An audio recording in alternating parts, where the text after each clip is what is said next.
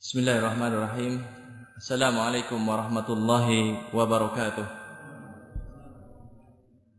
Innal hamdalillah nahmaduhu wa nasta'inuhu wa nastaghfiruh wa na'udzu billahi min shururi anfusina wa min sayyiati a'malina may yahdihillahu fala mudilla lahu wa may yudlil fala hadiya lahu أشهد أن لا إله إلا الله وحده لا شريك له وأشهد أن محمدا عبده ورسوله. يا أيها الذين آمنوا اتقوا الله حق تقاته ولا تموتن إلا وأنتم مسلمون. يا أيها الناس اتقوا ربكم الذي خلقكم من نفس واحدة وخلق منها زوجها وبث منهما رجالا كثيرا ونساء. واتقوا الله الذي تساءلون به والأرحام. إن الله كان عليكم رقيبا. يا أيها الذين آمنوا اتقوا الله وقولوا قولا سديدا. يصلح لكم أعمالكم ويغفر لكم ذنوبكم. ومن يطع الله ورسوله فقد فاز فوزا عظيما. أما بعد فإن أصدق الحديث كتاب الله وخير الهدي هدي محمد صلى الله عليه وسلم وشر الأمور محدثاتها وكل محدثة بدعة وكل بدعة ضلالة وكل ضلالة في النار الحمد لله Segala puji bagi Allah Pada kesempatan pagi hari ini Allah Ta'ala masih memberikan kesehatan Masih memberikan kesempatan waktu luang Sehingga kita bisa berkumpul di majelis taklim Di tempat yang mulia ini. Kita meminta kepada Allah Agar apa yang kita usahakan di pagi hari ini Menjadi amal saleh bagi kita. Sebagai bekal sebagai pemberat timbangan kebaikan di yaumil akhir nanti. Salawat dan juga salam semoga senantiasa terlimpahkan kepada junjungan kita Nabi besar Muhammad sallallahu alaihi wasallam keluarganya, para sahabatnya dan juga orang-orang yang mengikuti sunnahnya Hadirin sekalian kaum muslimin dan muslimah yang dirahmati oleh Allah. Pada kesempatan pagi hari ini kajian kita akan kita beri judul lima kunci menuju istiqamah. Hadirin sekalian yang dirahmati oleh Allah. Telah berlalu waktu yang sangat lama dari zaman nubuwah zaman kenabian nabi kita Muhammad sallallahu alaihi wasallam. Kita hidup di zaman ini telah 1433 tahun dan kita sekarang berada di ujung tahun 1433 Hijriah sejak zamannya Nabi sallallahu alaihi wasallam. Bukan waktu yang sebentar tetapi waktu yang cukup panjang. Ketika kita mendapati di zaman kita sekarang ini kaum muslimin kita akan mendapati bahwasanya mereka hidup di tengah satu masyarakat yang kalau bilang kalau boleh kita bilang bahwasanya mereka hidup dalam kenyataan yang pahit, yang getir, yang menyedihkan. Kita dapat di sebagian kaum muslimin ataupun boleh dikatakan kebanyakan kaum muslimin mereka itu hanyut dibawa oleh derasnya arus kerusakan zaman. Terbawa hanyut begitu saja tanpa ada usaha sedikit pun untuk berubah menjadi lebih baik. Kita melihat sebagian kaum muslimin mereka memperturutkan hawa nafsunya. Sebagian kaum muslimin mereka inginnya cita-citanya hanya sekedar apa? Memperturutkan kesenangan-kesenangan dunia tanpa pernah sama sekali terbayang dalam pikirannya bahwasanya kehidupan hakiki sebenarnya adalah kehidupan akhirat. Hal yang semacam ini adalah satu musibah. Karena apa? Karena kehidupan yang hakiki adalah kehidupan nanti setelah kematian kita. Sebagian kaum muslimin yang masih berbangga dengan agama Islam, yang masih senang kalau dikatakan sebagai seorang muslim. Sebagian mereka terjerumus ke dalam kerancuan pemikiran tentang agamanya. Begitu banyak di antara mereka yang masih senang menyandang sebagai seorang muslim tetapi kita dapati ketika kita sodorkan di hadapannya sunnah Nabi Shallallahu Alaihi Wasallam, kata mereka ini adalah ajaran di masa yang lalu. Di zaman kita sudah tidak perlu lagi kepada sunnah Nabi Shallallahu Alaihi Wasallam. Ini kenyataan yang ada di tengah kaum muslimin. Sehingga sebagian orang, sebagian kecil dari kalangan kaum muslimin yang memiliki cita-cita mulia ingin kembali mengamalkan Quran dan juga sunnah Nabi sallallahu alaihi wasallam sebagaimana diamalkan oleh Rasulullah sebagaimana diamalkan oleh para sahabatnya radhiyallahu taala anhum ajmain mereka akan mendapati bahwasannya diri mereka menjadi orang-orang yang terasing menjadi orang-orang yang nganeh-nganehi tidak wajar, tidak lumrah. Karena apa? Kebanyakan mereka terseret arus derasnya kerusakan zaman. Nabi kita Muhammad sallallahu alaihi wasallam telah menyebutkan hal itu di dalam sabda beliau yang diriwayatkan oleh Imam Muslim. Beliau sallallahu alaihi wasallam bersabda, "Bada al-Islamu ghariban wa sayaudu ghariban kama bada." fatuba lil ghuraba. Bada al-Islamu ghariban. Islam dimulai dalam keterasingan. Aneh. Ketika ada seorang yang bernama Muhammad bin Abdullah alaihi salatu wassalam. Siapakah beliau? Nabi kita Muhammad. Yang mengajak kepada manusia untuk meninggalkan peribadahan kepada segala sesuatu yang selain Allah Beribadah hanya kepada Allah saja dan ketika itu hanya sendiri. Gak ada yang menemani beliau sallallahu alaihi wasallam. Islam dimulai dalam keterasingan. Masa sih harus meninggalkan seluruh sesembahan hanya beribadah kepada Allah? Ini adalah sesuatu yang aneh. Wasayaudu ghariban dan Islam ini akan kembali menjadi aneh, menjadi asing kama bada'a sebagaimana permulaannya.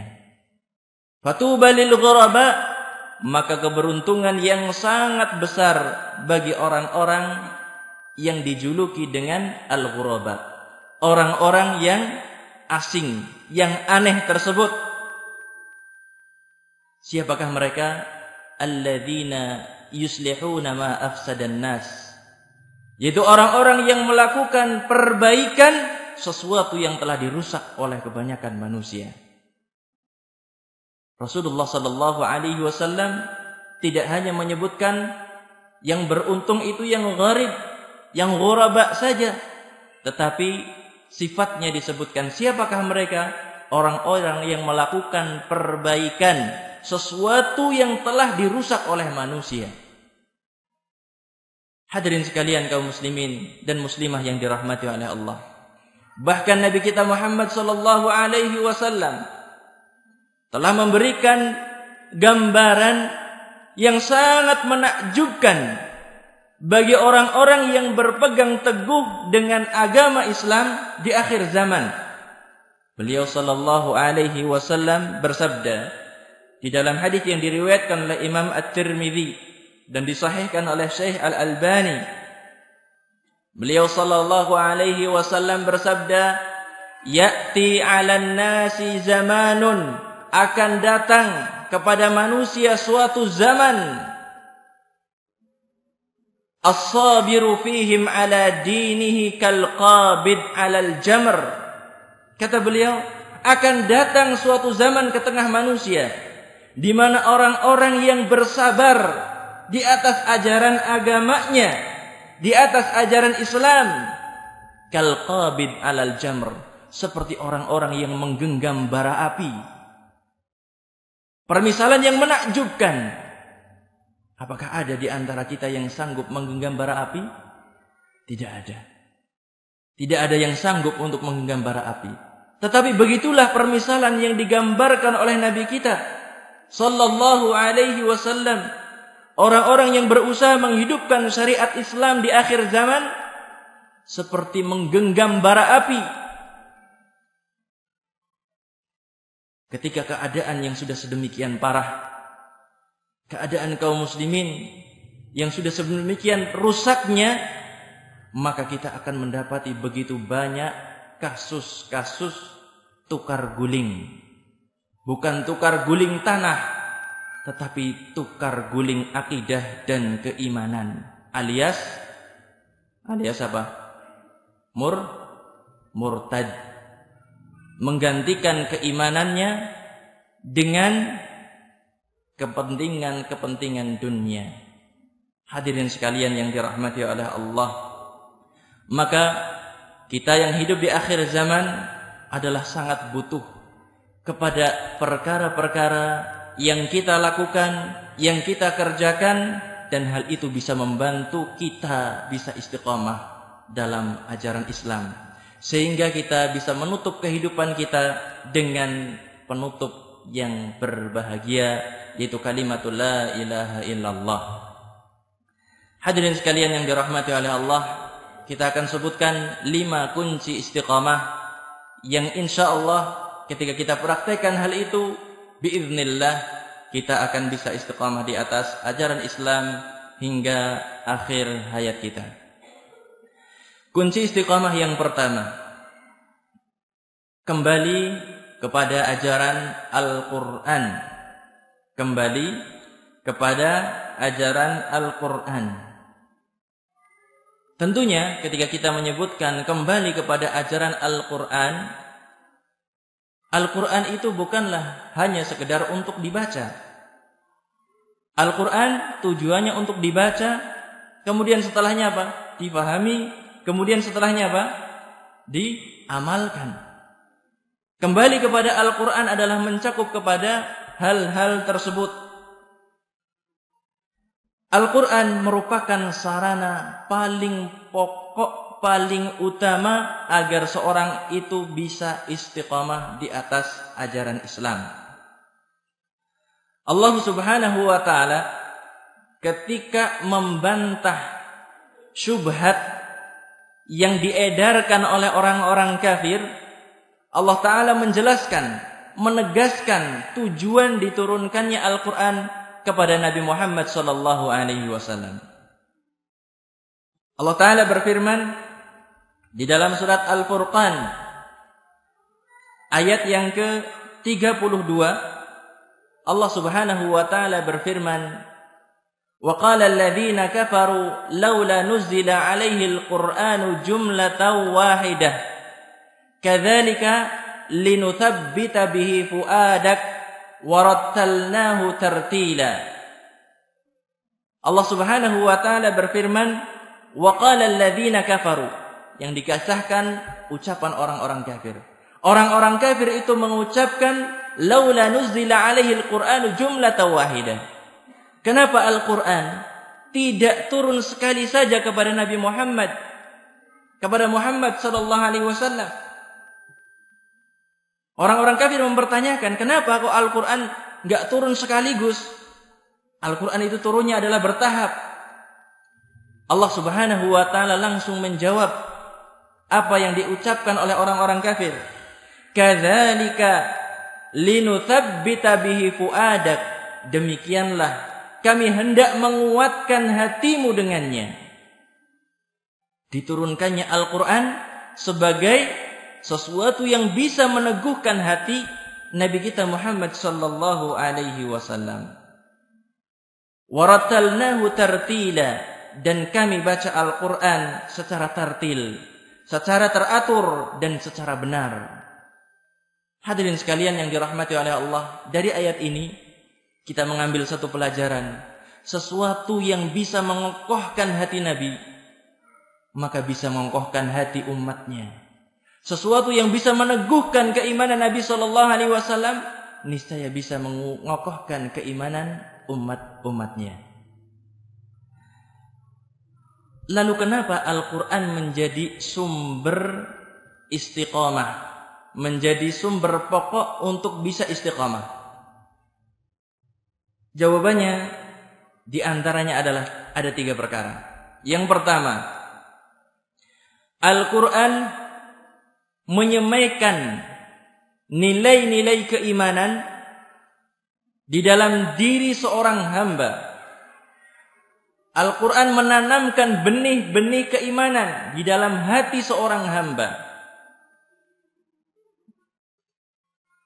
Kita akan mendapati begitu banyak ayat di dalam Al-Quranul Karim. Bagaimana di sana terdapat Perkara-perkara yang bisa menanamkan keimanan kepada kita. Di antaranya yang terbesar dan yang paling banyak adalah keimanan kepada Allah Subhanahu wa taala. Iman kepada Allah itu rukun iman yang keberapa, Dek? Iman kepada Allah rukun iman yang keberapa? Yang pertama, rukun iman atau rukun Islam? Iman. Ahsan. Maka kita akan mendapati begitu banyak di dalam Al-Quran ayat yang berbicara tentang Allah subhanahu wa ta'ala. Tentang rububiyah Allah subhanahu wa ta'ala. Tentang uluhiyah Allah subhanahu wa ta'ala. Tentang nama dan juga sifat-sifat Allah subhanahu wa ta'ala. Begitu banyak ayat kita dapati. Hadirin sekalian yang dirahmati oleh Allah. Di antaranya adalah bahwasanya Allah Ta'ala menyebutkan sebagai satu-satunya pencipta sebagai satu-satunya pemberi rizki. Ini semuanya menunjukkan kepada kita bahwasanya Allah Subhanahu wa taala dialah satu-satunya Tuhan yang berhak untuk disembah. Sesembahan yang paling hak di antara sesembahan-sembahan yang lain. Dialah Allah Subhanahu wa taala. Kita akan sebutkan sebagian kecil dari ayat-ayat tersebut ayat yang senantiasa kita baca sehari semalam minimal 17 kali. Surat apa itu? Surat Al-Fatihah. Di dalam surat Al-Fatihah ada apa sih sebenarnya? Allah Subhanahu wa taala berfirman dari awal Bismillahirrahmanirrahim Alhamdulillahi rabbil alamin. Apa alhamdulillahi rabbil alamin? Segala puji bagi Allah Rabbul Alamin. Allah adalah Tuhan seru sekalian alam. Rabb artinya apa? Yang mencipta, yang menguasai, yang mengatur alam semesta, yang memberi rizki, yang menghidupkan, yang mematikan. Dialah Allah subhanahu wa ta'ala. Kekuasaan Allah meliputi seluruh alam semesta ini. Yang selain Allah, itulah di bawah kekuasaan Allah. Berarti malaikat di bawah kekuasaan Allah. Langit dan bumi di bawah kekuasaan Allah. Seluruh makhluk di bawah kekuasaan Allah Subhanahu wa taala. Ini yang kita sebutkan alhamdulillahi rabbil alamin. Segala puji bagi Allah, Rabb semesta alam. Kemudian ayat yang setelahnya apa? Ar-Rahman Ar-Rahim. Allah Subhanahu wa taala menyebutkan tentang dirinya yang Maha Pengasih dan Maha Penyayang. Allah Subhanahu wa taala kekuasaannya yang meliputi langit dan bumi, tetapi Dia Allah Subhanahu wa taala tidak zalim. Allah itu sayang sekali kepada hambanya. Allah Subhanahu wa taala kasih sayangnya meliputi segala apa yang telah diciptakannya. Berbeda dengan makhluk. Berbeda dengan manusia. Manusia punya kekuasaan sedikit. Zolimnya luar biasa. Kadang-kadang kekuasaannya cuma menguasai satu desa. Kuasa kekuasaannya hanya cuma sekedar satu kecamatan, satu kabupaten, sudah berbuat zalim, berbuat semena-mena. Dan ini bisa kita saksikan. Tetapi Allah subhanahu wa ta'ala yang kekuasaannya meliputi langit dan bumi. Tunduk semuanya di bawah kekuasaan Allah. Tetapi Allah subhanahu wa ta'ala dia adalah Ar-Rahman Ar-Rahim. Yang maha pengasih, yang maha penyayang. Kemudian setelahnya Allah Ta'ala menyebutkan Maliki Yaumiddin. Dialah Allah penguasa hari pembalasan. Yang menguasai hari pengadilan. Hari Yaumul Hisab. Dialah Allah Subhanahu wa taala. Allah Subhanahu wa taala mengatakan Maliki Yaumiddin. Kenapa Allah taala mengatakan Maliki Yaumiddin? Tidak mengatakan Malikid dunia wa yaumiddin, penguasa dunia dan penguasa hari pembalasan. Kenapa sebabnya? Kenapa Allah hanya mengkhususkan Maliki Yaumiddin saja? Karena kita akan mendapati bahwasannya Allah Subhanahu wa taala di dunia ini memperkenankan makhluknya untuk jadi penguasa. Seorang berkuasa atas orang lain, seorang berkuasa atas satu daerah, seorang berkuasa atas satu negeri. Bukankah itu terjadi di dunia? Jawabannya iya. Tetapi ketika di yaumil akhir nanti, ketika menghadap Allah Subhanahu wa taala, Apakah ada seorang yang memiliki kedudukan tinggi kemudian datang menghadap Allah dengan bala tentaranya? Tidak. Apakah ada seorang yang kaya ketika menghadap Allah Subhanahu wa taala dengan membawa bodyguardnya? Tidak ada. Ketika menghadap Allah Subhanahu wa taala pada hari akhir nanti, semuanya sama. Yuhsyarun nas hufatan uratan ghurla. Manusia akan dikumpulkan di hadapan Allah Subhanahu wa taala dalam keadaan sama. Hufatan, auratan, ghurla. Tidak bersendal, tidak berpakaian dan tidak berkhitan. Semuanya sama. Penguasa setinggi apa pun kekuasaannya, setinggi apa pun kedudukannya, dia menghadap Allah Subhanahu wa taala dalam keadaan yang seperti itu. Sekaya apa pun dia, dia akan menghadap Allah Subhanahu wa taala sama dengan yang lainnya. Enggak ada beda sama sekali. Maka Allah Subhanahu wa taala menyebutkan Maliki Yaumiddin. Para ulama menyebutkan dalam tafsirnya bahwasannya karena ketika itu manusia kekuasaannya terputus. Makhluk kekuasaannya berhenti sampai di situ. Ketika itu yang berkuasa hanya Allah Subhanahu wa taala. Kemudian setelah kita mengetahui Allah Rabbul Alamin, setelah kita mengetahui bahwasanya Allah Ar-Rahman Ar-Rahim, maka kita diperintahkan dari makna ayat iyyaka na'budu wa iyyaka nasta'in. Hadirin sekalian yang dirahmati oleh Allah, kita beribadah hanya kepada Allah. Kita minta tolong hanya kepada Allah Subhanahu wa taala. Ini yang pertama. Al-Qur'an menanamkan benih-benih keimanan kepada hati seorang hamba. Kemudian yang kedua, Al-Quran memberikan gambaran yang benar tentang hidup di dunia. Al-Quran memberikan gambaran yang benar tentang hidup di dunia. Kehidupan dunia disebutkan di dalam Al-Quran dengan mata'un qalil Allah Ta'ala berfirman, Mata'un qalil walahum azabun alim. Mata'un qalil. Apa artinya mata'un qalil? Kesenangan yang sedikit. Kesenangan yang sedikit. Dunia ini, sebanyak apa pun harta yang kita miliki, adalah sangat sedikit. Jika dibandingkan dengan kenikmatan yang Allah Ta'ala janjikan nanti di yaumil akhir. Kehidupan dunia dikatakan sebagai mata'un qalil. Kesenangan yang sedikit. Tetapi kadang-kadang kita senantiasa berebut dengan kesenangan yang sedikit.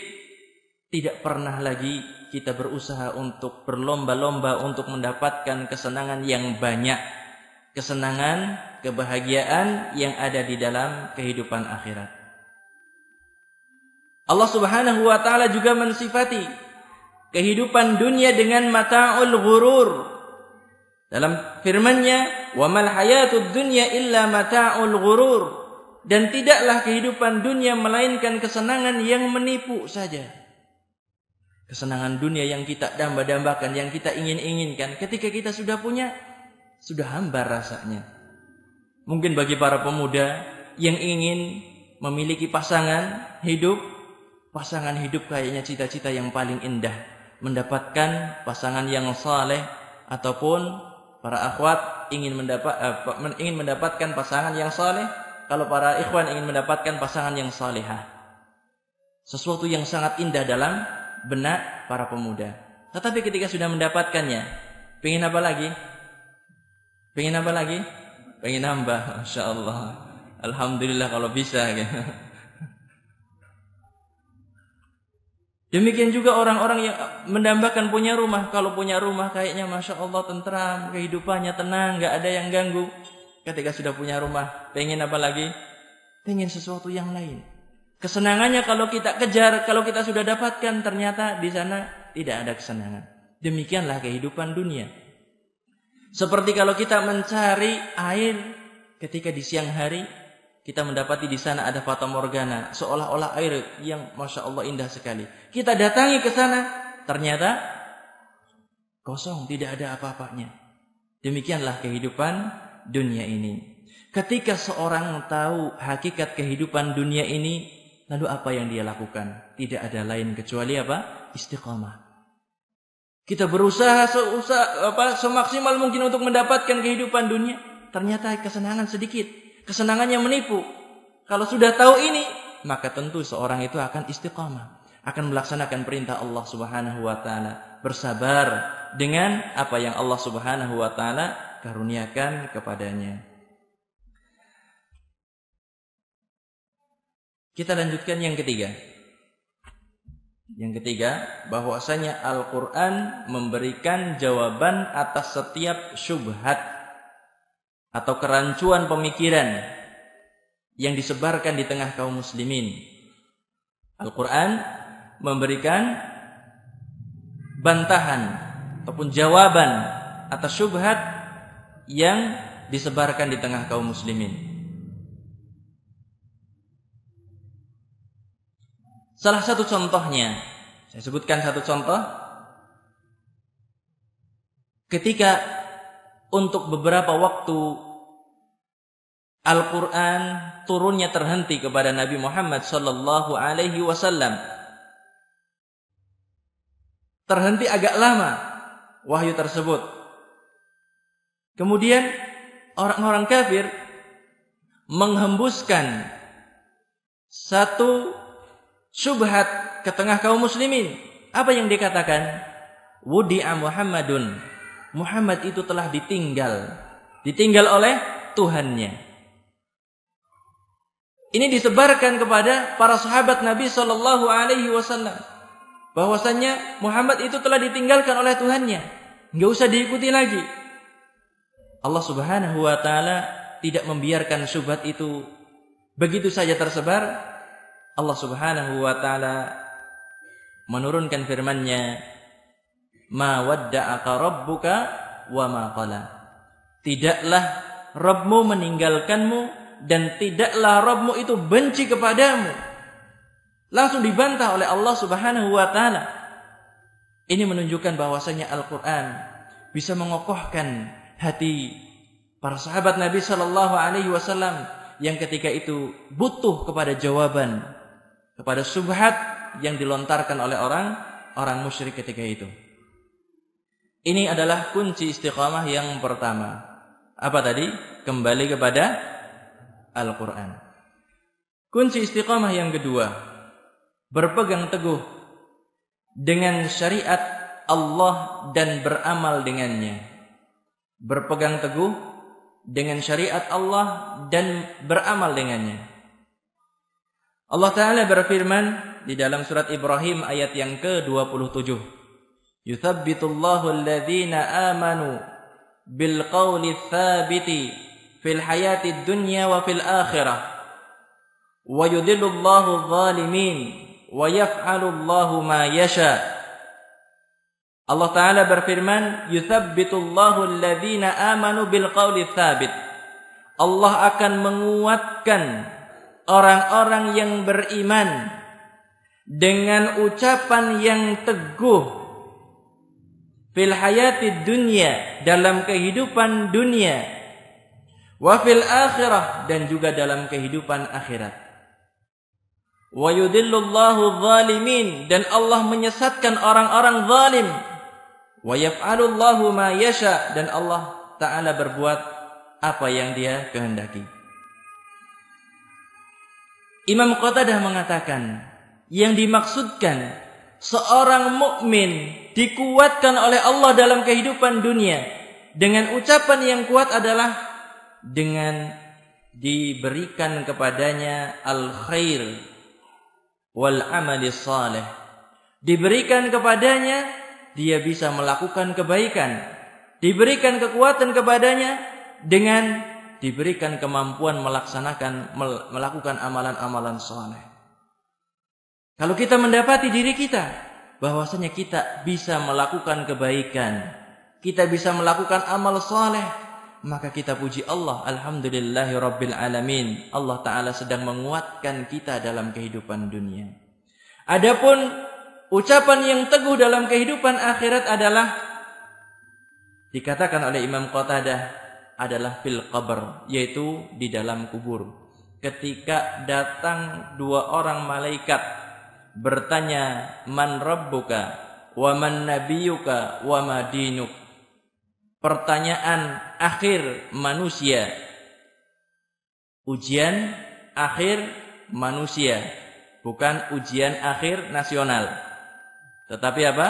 Ujian akhir manusia dan itu yang terberat sehingga Utsman bin Affan mengatakan, kalau seandainya seorang itu lulus menjawab tiga pertanyaan ini, maka akan mudah yang setelahnya.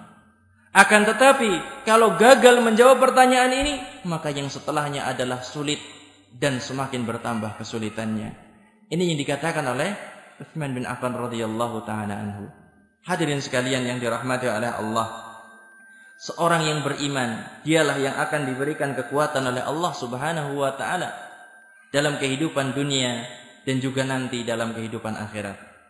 Orang-orang yang teguh di atas syariat Islam lah yang akan dikuatkan oleh Allah.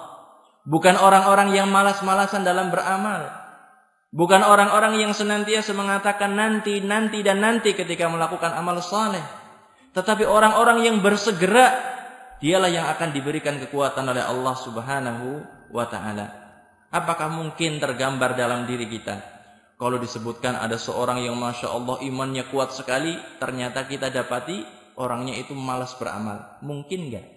Tidak pernah tergambar dalam diri kita. Tetapi ketika kita disebutkan seorang yang kuat sekali imannya, maka pasti yang tergambar dalam diri kita adalah seorang yang rajin dalam beribadah kepada Allah Subhanahu wa taala. Nabi kita Muhammad sallallahu alaihi wasallam beliau adalah gambaran sejati hamba Allah di muka bumi. Hamba Allah yang sebenarnya adalah beliau sallallahu alaihi wasallam.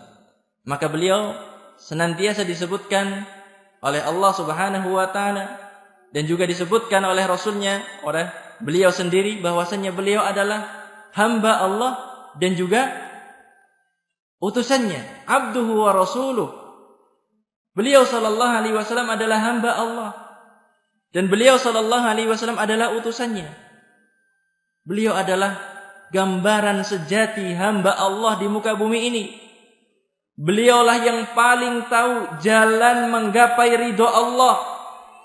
Beliau orang yang paling tahu bagaimana mendapatkan kecintaan Allah. Amal yang paling dicintai oleh Allah apa? Rasulullah dialah yang paling tahu. Beliau sallallahu alaihi wasallam bersabda dalam hadis yang diriwayatkan oleh Imam Bukhari dan Imam Muslim, ahabbul a'mali ilallahi adwamuha wa in qalla. Amal yang paling dicintai oleh Allah adalah yang kontinu walaupun hanya sedikit. Jangan salah terjemah. Amal yang dicintai oleh Allah itu yang sedikit. Kemudian kontinu. Bedakan artinya? Beda enggak? Amal yang paling dicintai oleh Allah adalah yang apa? Yang kontinu. Walaupun itu sedikit. Kalau banyak, tentunya lebih dicintai. Kalau kita terjemahannya kebalikannya tadi, yang paling dicintai oleh Allah adalah sedikit yang nggak bisa tambah. Ya. Hadirin sekalian yang dirahmati oleh Allah, demikian juga para sahabat Rasulullah sallallahu alaihi wasallam. Beliau mereka para sahabat telah mencontohkan kepada kita bagaimana mereka itu melaksanakan amalan ketika sudah mendapatkan dari Nabi sallallahu alaihi wasallam. Sehingga kita dapati seperti Aisyah radhiyallahu taala anha, Ali bin Abi Thalib, kemudian Umar, Ibnu Umar, kemudian Abu Hurairah, kita dapati riwayat-riwayat dari mereka bahwasanya mereka mengatakan Sejak saya mendengarkan hadis ini dari Nabi Shallallahu Alaihi Wasallam sampai saat sekarang ini saya tidak pernah meninggalkannya walaupun cuma sekali saja. Ini menunjukkan bahwasannya mereka adalah orang-orang yang istiqomah untuk mendapatkan kebaikan. Usahanya adalah maksimal untuk mendapatkan sesuatu keistiqomahan. Kemudian Nabi kita Muhammad Shallallahu Alaihi Wasallam juga mencontohkan kepada kita satu amalan yang mungkin ini insya Allah bisa kita dapatkan. Cuma modalnya adalah sangat besar. Modalnya harus besar. Modalnya besar, kemauan yang kuat. Tetapi apa? Enggak perlu kepada duit. Rasulullah Shallallahu Alaihi Wasallam bersabda, "Man tabara ala asyrata rak'atan." Man tabara ala ala thnatai asyrata rak'atan bunya lahu apa minas sunnah bunya lahu baitun fil jannah. Barang siapa yang kontinu melaksanakan 12 rakaat sunnah sehari semalam maka akan dibangunkan baginya sebuah rumah di dalam surga arba'un apa arba'in qabla dhuhri empat rakaat sebelum zuhur Warak'ataini ba'da dhuhri dan dua rakaat setelahnya. Warak'ataini ba'dal maghrib, dua rakaat setelah maghrib. Warak'ataini ba'dal isya, dua rakaat setelah isya. Warak'ataini qabla subhi dan dua rakaat sebelum subuh. Mahal enggak ini? Modalnya apa? Modalnya mahal sekali. Bukan cuma semiliar. Kalau semiliar masih banyak yang mengusahakan dipelalai ngutang ke bank. Banyak yang mengusahakan untuk mendapatkannya. Modalnya cuma apa? Niatan yang kuat dan bermodal air saja. Berwudu, niatan yang kuat melaksanakan 12 rakaat sehari semalam. Yang sunnah yang dihadir di sini mungkin termasuk saya masih berapa paling kalau melaksanakan kita tanya masing-masing. 12 rokaat. Balasannya apa? Rumah di surga. Rumah di surga. Kalau sekarang saya sampaikan yang bisa sholat duha 4 rokaat. Umpamanya cuma 4 rokaat saja. Yang rutin silahkan ngambil satu rumah tipe 45 di perumahan ini. Atas tanggungan saya. Umpamanya mengatakan seperti itu. Percaya sama saya? Percaya enggak? enggak. Ketahuan enggak punya duit kok nawarin seperti itu. Kalau kita mendapatkan janji semacam itu dari orang kaya, kita akan langsung percaya. Padahal orang yang semacam itu kadang-kadang bohong dalam janjinya. Rasulullah yang enggak pernah bohong sama sekali. Mengatakan sesuatu enggak pernah bohong siapa saja yang kontinu melaksanakan 12 rokaat dalam sehari dibangunkan sebuah rumah di dalam surga. Jangan terbayang rumahnya tipoknya lah palingnya 21 di surga. Jangan seperti itu. Di surga rumahnya masya Allah luar biasa sekali. Yang Rasulullah Sallallahu Alaihi Wasallam mengatakan, "Mala ainun ra'at, wala udhunun sami'at, wala khatara ala qalbi bashar."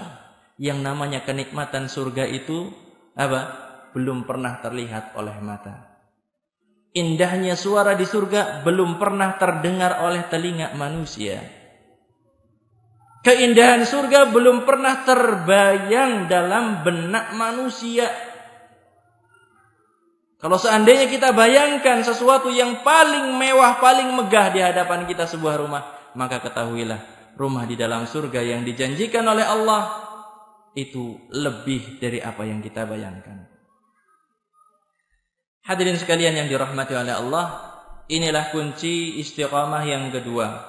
Berpegang teguh dengan ajaran Islam, dengan syariat Allah dan juga mengamalkannya. Kita lanjutkan yang ketiga. Mengambil pelajaran dari kisah-kisah orang saleh. Mengambil pelajaran dari kisah orang-orang saleh. Kalau disebutkan orang soleh yang harus pertama kali terbam, tergambar dalam diri kita adalah mereka para nabi dan para rasul. Karena mereka adalah orang-orang imamnya, orang-orang sebagai imamnya orang-orang soleh. Mereka panutan orang-orang soleh. Disebutkannya kisah-kisah para nabi, disebutkannya kisah para rasul yang sebelum Nabi Muhammad dikisahkan kepada Nabi Muhammad sallallahu alaihi wasallam memiliki tujuan yang sangat besar. Tujuannya adalah untuk menguatkan hati Nabi sallallahu alaihi wasallam. Berbeda dengan cerita yang dibuat oleh manusia, yang dikarang oleh manusia. Cerita yang dibuat oleh manusia tujuannya adalah di antaranya untuk menguatkan apa yang dibuat oleh manusia tujuannya adalah untuk menghanyutkan manusia ketika membaca cerita tersebut. Cerita buatan manusia seperti itu. Ketika dikarang satu cerita, ditulis suatu cerita, kemudian mungkin ada sebagiannya yang difilmkan, tujuannya untuk apa? Untuk membawa orang-orang yang menyaksikannya, orang-orang yang membacanya agar apa? Hanyut dalam cerita tersebut. Tetapi cerita yang disebutkan oleh Allah Subhanahu wa taala di dalam Al-Qur'an kepada nabinya sallallahu alaihi wasallam bukan hanya untuk menghanyutkan manusia berlezat-lezatan ketika ma, apa, membaca kisah tersebut. Tetapi tujuan yang terbesar dan yang paling utama adalah mengokohkan hati Nabi kita Muhammad sallallahu alaihi wasallam.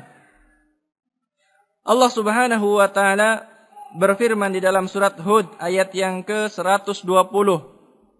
Surat Hud ayat yang ke-120.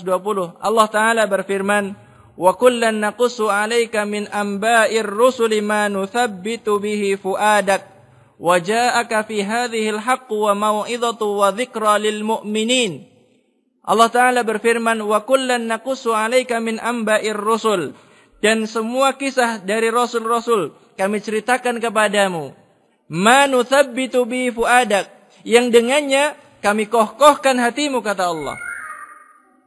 Tujuan dikisahkannya para nabi dan para rasul kepada Nabi Muhammad untuk menguatkan hati Nabi Muhammad sallallahu alaihi wasallam. Waja'aka fi hadhil haq dan di dalam kisah-kisah tersebut datang kebenaran. Wa mau'izatun dan juga pelajaran. Wa dzikra lil mu'minin dan juga peringatan bagi orang-orang yang beriman. Hadirin sekalian yang dirahmati oleh Allah. Demikianlah kisah yang Allah Subhanahu wa taala sebutkan kepada Rasulnya sallallahu alaihi wasallam. Tujuannya adalah sangat besar sekali, yaitu mengokohkan, menguatkan hati Nabi Muhammad sallallahu alaihi wasallam. Di antara kisah yang banyak sekali berulang di dalam Al-Qur'an adalah kisah Nabi Ibrahim dan juga kisah Nabi Musa alaihi salam. Bukan hanya sekali dua kali disebutkan tetapi berulang-ulang disebutkan oleh Allah Subhanahu wa taala kisah tentang mereka. Kita akan sebutkan penggalan kisah tentang Nabi Ibrahim di dalam surat Al-Anbiya ayat yang ke-68 eh, sampai 70. Allah Subhanahu wa taala mengkisahkan apa yang terjadi kepada Nabi Ibrahim alaihi salam. Qalu harriquhu wansuru alihatakum in kuntum fa'ilin. Orang-orang kafir di zaman Nabi Ibrahim mereka mengatakan harriquhu bakarlah ia. Siapa yang perintahkan untuk dibakar? Nabi Ibrahim. Bakarlah ia wansuru alihatakum in kuntum mu'minin dan tolonglah Tuhan-Tuhan kalian jika kalian mau melakukannya. Allah Subhanahu wa taala di dalam ayat ini mengkisahkan tentang ucapan orang-orang kafir sekaligus Allah taala membeberkan kelemahan Tuhan-Tuhan yang mereka agungkan. Tuhan-Tuhan yang mereka sembah. Allah taala mengkisahkan mereka memerintahkan membakar Nabi Ibrahim. Allah taala membeberkan kelemahan mereka. Mereka mengatakan apa? Wansuru alihatakum, tolonglah Tuhan-Tuhan kalian. Mong Tuhan kok ditolong? Allah menjelaskan kelemahannya. Lemah sekali ternyata. Sesembahan selain Allah itu lemah. Butuh kepada pertolongan manusia. Kemudian Allah Ta'ala setelahnya menunjukkan kemahakuasaannya. Bahwasanya dialah Allah yang maha kuasa atas segala sesuatu. Yang berhak untuk diibadai dialah Allah. Kemudian Allah Ta'ala menyebutkan Qulna ya naru kuni barda wa salaman ala Ibrahim. Kemudian kami katakan, wahai api, jadilah kamu dingin dan keselamatan bagi Nabi Ibrahim. Api, semua orang itu sepakat api itu panas. Enggak ada seorang pun yang mengatakan api itu dingin. Sampai-sampai orang yang pikun pun akan tetap ingat kalau api itu panas. Apa ada orang pikun sampai lupa api itu dingin? Api itu jadi dingin dalam benaknya? Enggak ada. Ceritanya semacam itu. Api itu semuanya sepakat panas. Karena apa? Ini adalah sesuatu yang telah diketahui bersama. Allah menunjukkan kekuasaannya. Sesuatu yang diketahui manusia panas. Tetapi Allah kuasa untuk membolak-balikannya. Karena Allah yang menciptakannya. Allah yang menciptakan api. Sehingga Allah pun sanggup mengatakan, jadilah engkau adalah sebagai sesuatu yang dingin. Bukan hanya itu saja Allah Ta'ala menunjukkan kekuasaannya. Allah Ta'ala mengatakan, Bardan wasalaman. Disebutkan apa? Keselamatan bagi Ibrahim. Kalau seandainya Allah Ta'ala mengatakan kurni bardan. Mungkin saja api yang menggunung sangat besar itu menjadi gunung salju. Kalau Nabi Ibrahim jatuh kepadanya, ya meninggal juga.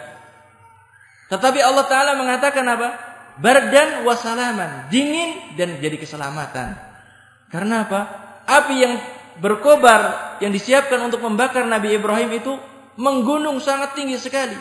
Karena untuk memasukkan Nabi Ibrahim ke dalam api tersebut nggak bisa dipanggul, dimasukkan ke dalam api tersebut langsung, tetapi digunakan apa? Manjanik. Dengan apa? Seperti ketapel besar, ditarik, dilemparkanlah dari tempat yang jauh karena saking besarnya. Allah Ta'ala menyebutkan, jadilah dingin wasalaman dan keselamatan. Hadirin sekalian yang dirahmati oleh Allah. Inilah kisah Nabi Ibrahim. Sepenggal kisah tentang Nabi Ibrahim. Allah Subhanahu wa taala menyebutkan wa aradu bihi kaidan faja'alnahumul akhsarin. Mereka ingin membuat tipu daya, membuat makar kepada Nabi Ibrahim Kemudian kami jadikan mereka sebagai orang-orang yang merugi. Disebutkan oleh Ibnu Abbas radhiyallahu taala anhuma beliau mengatakan wa akhir wa kana akhiru qauli Ibrahim hina ulqiya fin nar hasbiyallahu wa ni'mal wakil. Ucapan terakhir yang diucapkan oleh Ibrahim ketika dilemparkan ke dalam api dia mengatakan hasbiyallah wa ni'mal wakil. Cukuplah Allah sebagai penolong bagiku. Cukuplah Allah Subhanahu wa taala yang menjagaku. Hadirin sekalian yang dirahmati oleh Allah, kita lanjutkan. Kita akan sebutkan di sini penggalan kisah Nabi Musa alaihi salam. Allah taala berfirman di dalam surat Asy-Syu'ara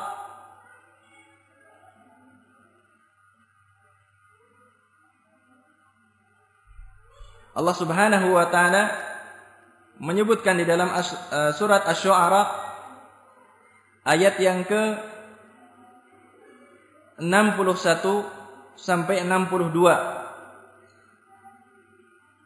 Allah taala berfirman Falamma tara al-jam'an qala ashabu Musa inna lamudrakun qala kalla inna ma'i rabbi sayahdin Allah Ta'ala berfirman, Falamma tara al-jam'an. Ketika dua kelompok manusia saling melihat. Bani Israel. Orang-orang yang beriman kepada Nabi Musa alaihi salam. Dan di kelompok yang lain adalah Fir'aun dan bala tentaranya. Ketika dua kelompok ini sudah saling melihat. Ini menunjukkan apa? Sudah saking dekatnya sudah sangat dekat sekali antara kelompok Bani Israel dan Nabi Musa dan kelompok Fir'aun dan bala tentaranya. Ketika sudah saling melihat, qala ashabu Musa maka para pengikut Nabi Musa itu mengatakan, "Inna lamudrakun." Sesungguhnya kita pasti ketangkep sama mereka. Sesungguhnya kita tersusul oleh mereka. Itu hitungan manusia. Hitungan manusia. Sahabat-sahabat Nabi Musa yang mereka sebutkan adalah hitungan manusia. Kalau hitungan manusia pasti kita kena. Tetapi Nabi Musa mengatakan karena keimanan yang begitu kuat dalam dirinya, beliau mengatakan kalla sekali-kali tidak. Inna ma'iya rabbi, sesungguhnya Rabbku bersamaku. Sayahdin dia akan memberikan jalan keluar, jalan keselamatan bagiku. Karena apa? Karena keimanan yang sangat kuat dari dalam hati Nabi Musa alaihi salam. Hadirin sekalian yang dirahmati oleh Allah, ketika kita mendapati kisah-kisah yang semacam ini, seharusnya bisa menjadi sesuatu yang bisa mengokohkan hati kita. Sesuatu yang bisa menguatkan keimanan kita ujian, cobaan yang dihadapi dalam melaksanakan kebenaran itu pasti terjadi, pasti ada dan kita harus bersabar. Demikian juga kisah orang soleh akan sangat besar sekali manfaatnya. Sebagaimana dikatakan oleh Imam Abu Hanifah, beliau mengatakan tentang faidah kisah orang-orang soleh. Beliau mengatakan al-hikayat anil ulama wa majalisihim ahabbu ilayya min kathirin minal fiqhi li'annaha adabul qaumi wa akhlaquhum. Kata Imam Abu Hanifah cerita hikayat tentang orang-orang saleh tentang para ulama dan majelis-majelis mereka itu lebih aku sukai daripada kebanyakan perkara-perkara fikih Kenapa? Karena cerita tentang para ulama dan majelis mereka adalah akhlak dan adab mulia yang mereka ajarkan. Hadirin sekalian yang dirahmati oleh Allah, inilah kunci istiqamah yang ketiga, yaitu mengambil pelajaran dari kisah-kisah orang soleh. Kita lanjutkan yang keempat. Berdoa agar mendapatkan keistiqomahan. Minta kepada Allah agar dikaruniakan kekuatan hati. Salah satu pintu yang telah Allah Subhanahu wa taala bukakan bagi hambanya agar kita bisa lebih mendekat kepada Allah Subhanahu wa taala adalah pintu doa. Allah taala membukakan pintu doa seluas-luasnya kepada hambanya. Kita berdoa di mana saja bisa. Kalau kita meminta kepada orang lain, tidak di setiap tempat kita Hah? Boleh minta ya. Kalau minta kepada orang lain harus nunggu apa? Nunggu apa? Nunggu orangnya dalam keadaan yang lagi tidak ada masalah, waktunya tepat. Tetapi kalau sama Allah, kapan pun dan di mana pun kita boleh berdoa. Kita sambil merem boleh berdoa? Boleh? Sambil baringan boleh berdoa? Coba saja kalau sekarang mau minta sama orang lain dalam keadaan baring. Sekarang umpamanya lagi baringan gitu ya. Minta sama orang lain. Enggak pantas kan? Apalagi di hadapan orang yang punya kedudukan. Tetapi Allah Subhanahu wa taala membuka pintu doa itu seluas-luasnya. Di mana pun dan kapan pun kita boleh minta sama Allah, berdoa kepada Allah Subhanahu wa taala. Hadirin sekalian yang dirahmati oleh Allah, Allah Subhanahu wa taala menjanjikan dikabulkan doa. Allah Subhanahu wa taala menjamin kalau seorang mau berdoa, Allah akan mengabulkannya. Di dalam surat Al-Mu'min ayat yang ke-60 Allah Subhanahu wa taala berfirman, "Wa qala rabbukum ud'uni astajib lakum." Innal ladzina yastakbiruna an ibadati sayadkhuluna jahannama dakhirin. Allah taala berfirman, "Wa qala rabbukum ud'uni astajib lakum." Dan Rabb kalian mengatakan, Udu'uni mintalah kepadaku. Astajib lakum. Aku berikan. Aku kabulkan kepada kalian. Syaratnya apa? Syaratnya kita meminta kepada Allah subhanahu wa ta'ala. Bahkan Allah subhanahu wa ta'ala mengancam orang-orang yang gak mau minta sama Allah. Orang-orang yang gak mau berdoa kepada Allah diancam dengan neraka. Innal ladzina yastakbiruna an ibadati sesungguhnya orang-orang yang sombong dari beribadah. Dalam arti ini adalah apa? Dari berdoa meminta kepadaku, saya dukhuluna jahannam dakhirin, maka dia akan masuk neraka dalam keadaan hina dina. Allah Subhanahu wa taala memerintahkan berdoa, menjanjikan dikabulkan doa. Dan bahkan apa? Orang yang enggak berdoa diancam dengan neraka. Maka kita harus menggunakan memanfaatkan pintu yang telah Allah Subhanahu wa taala buka seluas-luasnya bagi kita. Kita manfaatkan untuk meminta, berdoa kepada Allah Subhanahu wa taala. Tetapi jangan seperti kita saat sekarang ini. Ketika meminta kepada Allah yang diminta apa? Dunia. Yang diminta apa lagi? duit. Yang diminta apa lagi? Itu-itu aja. Kalau kita berdoa Rabbana atina fid dunya hasanah wa fil akhirati hasanah yang terbayang apa sekarang? Rabbana atina fid dunya hasanah. Ya Allah berikanlah dunia yang baik kepadaku. Rumah mewah, mobil mewah, istrinya berapa? Empat? Masya Allah. Apalagi Rabbana atina fid dunya hasanah yang tergambar dalam diri kita seperti itu. Padahal apakah seperti itu maknanya? Kalau mungkin di akhiratnya wafil akhirati hasanah jawabannya apa? Surga ya, sama. Seperti tafsiran para ulama juga seperti itu. Tetapi yang jadi masalah penggalan pertama ini, sekarang kita harus merubah doa kita. Bukan berarti doanya dirubah, tetapi apa? Yang tergambar dalam benak kita dirubah. Karena apa? Al Hasan Al Basri mengatakan, Rabbana atina fid dunya hasanah adalah al ilmu wal ibadah. Ya Allah, aku minta kebaikan di dunia. Artinya apa? Minta bisa berilmu dan minta bisa berapa? Beramal. Beribadah kepada Allah.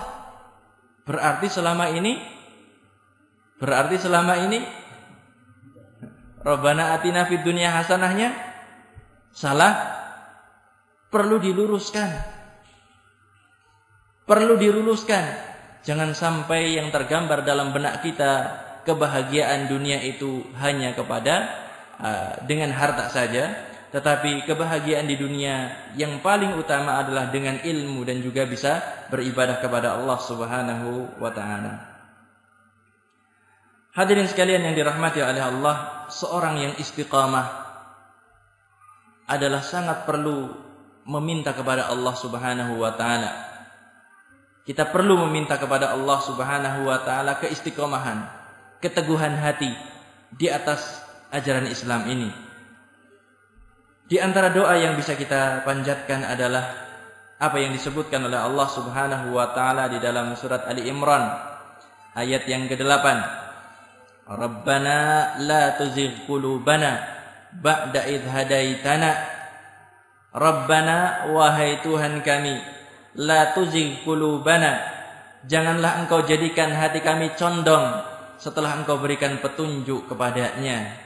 Ini yang kita minta kepada Allah Subhanahu wa taala. Kita minta di antara doa yang lain yang ada dalam Al-Qur'an, Rabbana afrigh alaina sabra wa tsabbit aqdamana. Ya Allah, karuniakanlah kepada kami kesabaran dan juga berikanlah kepada kami kekuatan. Nabi kita Muhammad sallallahu alaihi wasallam telah mencontohkan kepada kita doa agar dikuatkan keimanannya. Beliau sallallahu alaihi wasallam sebagaimana disebutkan oleh Ummu Salamah di antara doa yang paling banyak diminta oleh Allah yang dipanjatkan oleh eh, dipanjatkan oleh Rasulullah kepada Allah Subhanahu wa taala adalah doa ya muqallibal qulub tsabbit qalbi ala dinik ini di antara, bukan yang terbanyak ya, yang dipanjatkan. Sebagaimana kita ketahui dalam riwayat yang lain, doa yang paling banyak diucapkan oleh Rasulullah Sallallahu Alaihi Wasallam adalah Rabbana atina fid dunya hasanah wa fil akhirati hasanah wa qina adzabannar. Di antara doa yang paling banyak diucapkan adalah ya muqallibal qulub wahai zat yang membolak-balikkan hati tsabbit qalbi ala dinik kuatkanlah hati kami hatiku dalam agamamu, di atas agamamu. Kemudian ditanyakan kepada Rasulullah sallallahu alaihi wasallam, faqila lahu fi dzalik, kenapa wahai Rasulullah? Faqala kemudian Rasulullah sallallahu alaihi wasallam menjawab, innahu laisa adami illa wa qalbuhu baina usbu'aini min asabi'ir rahman faman syaa'a aqama wa man syaa'a Kata Rasulullah sallallahu alaihi wasallam, "Kenapa minta kepada Allah dikuatkan hati?" Kemudian beliau menjawab, "Sesungguhnya tidak ada seorang pun melainkan hatinya itu berada di antara dua jari Allah." Maka Allah ketika berhendak, Allah akan berikan petunjuk kepadanya. Ketika Allah berkehendak, maka Allah Subhanahu wa taala akan palingkan dari kebenaran. Hadirin sekalian yang dirahmati oleh Allah, Inilah yang dicontohkan Nabi kita Muhammad sallallahu alaihi wasallam. Yang dicontohkan oleh beliau bagi umatnya. Kalau beliau sendiri adalah orang yang paling kuat hatinya, paling kokoh keimanannya. Beliau mencontohkan kepada kita agar senantiasa minta kepada Allah Subhanahu wa taala. Kunci istiqamah yang ke berapa?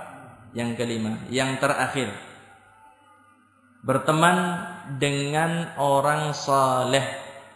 Berteman dengan orang saleh. Pertemanan atau persahabatan memiliki pengaruh yang sangat besar sekali.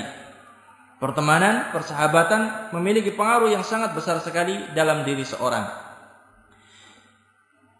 Kita akan mendapati para sahabat Rasulullah sallallahu alaihi wasallam mereka adalah orang-orang yang kalau kita mendengar kisah tentang mereka seolah-olah adalah hanya sekedar dongeng. Dongeng singkatan apa sih? Dongeng singkatan apa? Ad-Dohtur Ngain. Yang enggak mungkin lah gambarannya, ya. Kalau kita menyebutkan kisah tentang para sahabat Nabi Shallallahu Alaihi Wasallam, seolah-olah apa? Cerita yang nggak tahu di negeri mana hal itu bisa ada, tapi pernah ada. Sesuatu yang nggak mungkin terjadi, terjadi pada kehidupan manusia, yaitu kehidupan para sahabat Nabi Sallallahu Alaihi Wasallam. Kalau disebutkan tentang Abu Bakar, contohnya Abu Bakar As-Siddiq radhiyallahu taala anhu, beliau menunjukkan sesuatu yang sangat luar biasa. Ketika masyarakat Mekah mendapati cerita Isra dan Mi'raj dalam satu malam, Isra dari mana ke mana? Dari Mekah, dari Masjidil Haram ke Masjidil Aqsa. Mi'raj dari mana ke mana? Dari Masjidil Aqsa sampai Sidratul Muntaha. Terjadi satu malam. Ketika itu tidak ada seorang pun yang membenarkan Nabi Muhammad sallallahu alaihi wasallam. Semuanya mengatakan dusta, bohong. Tetapi Abu Bakar As-Siddiq radhiyallahu taala anhu beliau mengatakan Apakah dia ketika mendapatkan berita semacam itu dia bertanya, apakah Muhammad telah mengatakannya? Apakah Muhammad telah mengatakannya? Kalau dia telah mengatakannya, saya benarkan dia karena dia adalah orang yang paling jujur. Kemudian Abu Bakar As-Siddiq. Cerita yang paling menakjubkan lagi adalah apa? Ketika dia menginfakkan seluruh hartanya. Pernah dengar di zaman kita ada orang menginfakkan seluruh hartanya Hah? Belum pernah kan? Paling-paling berapa persen dari gajinya gitu kan ya? Berapa persen dari gajinya, bukan dari hartanya. Kalau ini seluruh hartanya diberikan di jalan Allah, nggak ada yang ditinggalkan kecuali apa? Kecuali apa? Keimanan kepada Allah dan juga Rasulnya. Dibekalkan kepada keluarganya cuma itu saja. Ini menunjukkan kekuatan iman yang sangat luar biasa. Apa sebabnya? Apa sebabnya? Sebabnya adalah karena beliau radhiyallahu taala anhu menjadi sahabat Nabi Muhammad sallallahu alaihi wasallam. Bisa seperti itu karena teman yang dekat kepadanya yaitu Nabi kita Muhammad sallallahu alaihi wasallam. Demikian juga kita dapat di kisah-kisah yang lainnya. Seorang sahabat yang pincang yang ingin masuk surga dengan berbekal kaki pincang. Siapa dia? Pernah dengar kisahnya? Siapa? Seorang sahabat pincang ingin masuk surga bermodal kaki pincang. Siapa? Enggak ada yang pernah dengar sama sekali. Ada-ada enggak ada yang tahu? Amr bin Jamuh radhiyallahu taala anhu dia ingin masuk surga dengan bermodal kaki pincang. Orang pincang izin untuk berangkat jihad. Keluarganya nggak mengizinkan, anak-anaknya masih bisa menggantikan orang tuanya. Akhirnya dia minta izin, minta izin, minta izin. Akhirnya diizinkan berjihad dan meninggal di medan jihad. Kenapa bisa seperti itu? Tentunya karena berteman dengan Nabi Muhammad sallallahu alaihi wasallam. Dan pada ke, pada kesempatan uh, kajian yang lalu kita juga telah menyebutkan bagaimana potret-potret kehidupan para sahabat Nabi sallallahu alaihi wasallam yang sangat hebat, yang siap mati ketika bersalah. Bertobat kepada Allah dengan bersegera ketika melakukan kesalahan Kenapa? Apa sebabnya? Karena apa? Mereka berteman dengan orang mulia yaitu Nabi kita Muhammad sallallahu alaihi wasallam. Jadi para sahabat mereka kuat keimanannya karena berteman dengan Nabi sallallahu alaihi wasallam. Allah taala berfirman di dalam surat Ali Imran ayat yang ke-101 Wa kaifa takfuruna wa antum tutla alaikum ayatullahi wa fikum rasuluh. Bagaimanakah kalian sampai menjadi kafir padahal ayat-ayat Allah masih dibacakan kepada kamu dan rasulnya masih berada di tengah-tengah kamu. Ini menunjukkan kepada kita bahwasannya bersahabat dengan orang saleh adalah akan memberikan pengaruh yang sangat besar sebagaimana Nabi Shallallahu Alaihi Wasallam memberikan pengaruh yang sangat besar kepada jiwa para sahabat radhiyallahu taala anhum ajmain.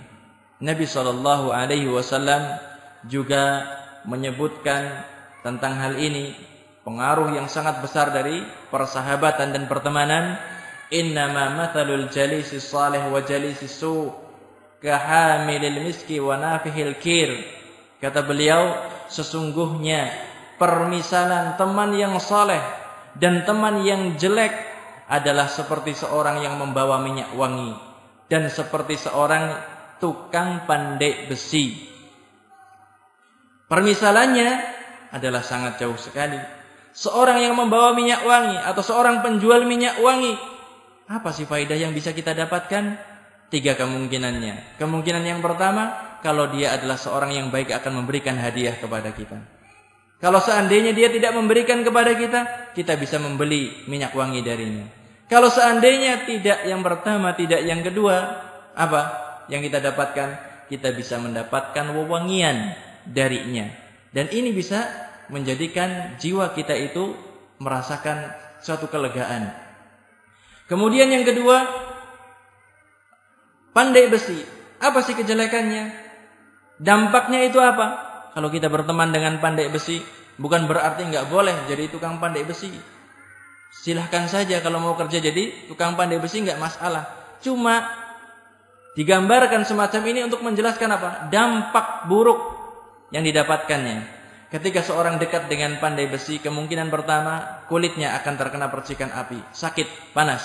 Kemudian apa? Kemungkinan yang kedua, bajunya akan terbakar. Kemungkinan yang ketiga, dapat bau yang tidak sedap, bikin sumpek.